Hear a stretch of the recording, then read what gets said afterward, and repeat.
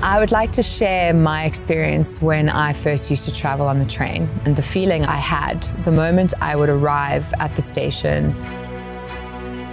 For me, I want the guests to have that same feeling that I have every time I'm about to travel on the train. From the moment they arrive here and are in our hands, we will do whatever we can to take care of them. The food they're going to eat is going to be delicious, seasonal, reflective of the countries that we're traveling through. Getting to know the staff that work on board.